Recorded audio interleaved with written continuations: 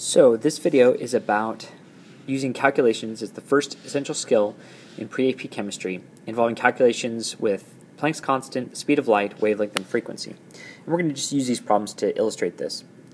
The question is what is the energy of a quantum of light with frequency of 7.39 times 10 to the 14th hertz? Remember that hertz is 1 over seconds. Those are the units. Energy equals h, which is Planck's constant, times frequency. That's the Greek letter nu. And h, you may recall, h is equal to 6.63 uh,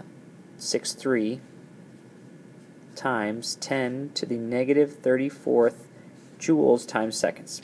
So if we plug this in, we can just solve for E.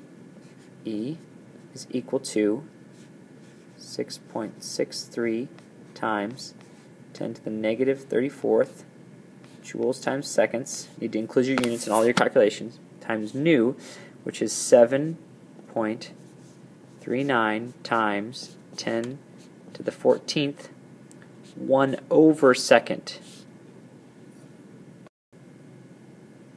That would give us an answer of 4.899, which might as well be with sig figs, 4.90 times 10 to the negative 19th. And the units for this, the seconds cancel out, leaving you with joules. Okay, so there's your answer for the first one.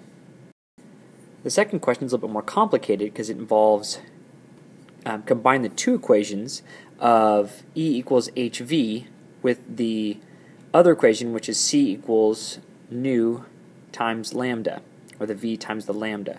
You can combine them. You can put the, since the, the nu is equal to the v is equal to c over lambda, you can substitute in for the v here, and you get the h times c over lambda. So now we're looking for the wavelength, which is right here. So now we're going to manipulate this equation to say that lambda is equal to hc over e.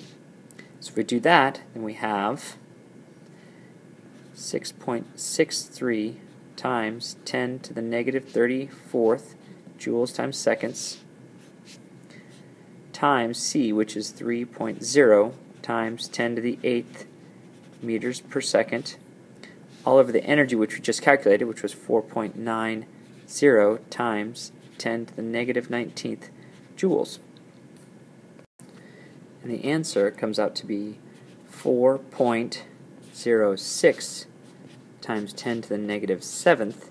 And when the units, the joules cancel here, the seconds cancel there, leaving you with meters. And for the last problem here, number three, a certain red light has a wavelength of 680 nanometers. What is the frequency of the light? So we're looking for frequency, which means we're using this equation again. And you'll notice that it says 680 nanometers. And our units for everything so far has been in meters. The speed of light, you'll remember we had up here, is the 3.0 times 10 to the 8th meters. So it has to be in meters. So how do we convert nanometers to meters? Well, you may remember from the notes that 1 times 10 to the ninth nanometers are in 1 meter.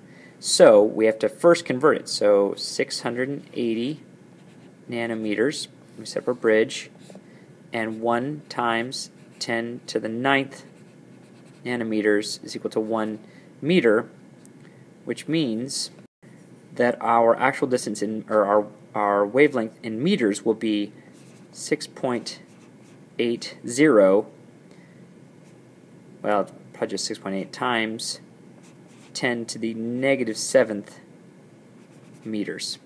Okay, so now let's plug that into our equation. So frequency is equal to 3.0 times 10 to the 8th meters per second divided by the wavelength, 6.80 times 10 to the negative 7th meters, our frequency would be equal to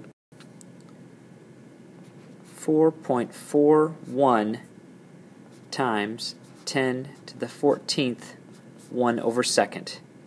Or if you wanted to say, you could say hertz. Either one would be fine.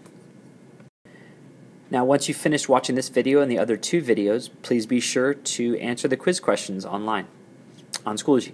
Thank you very much, and please don't hesitate to come in to ask questions as well. Thank you.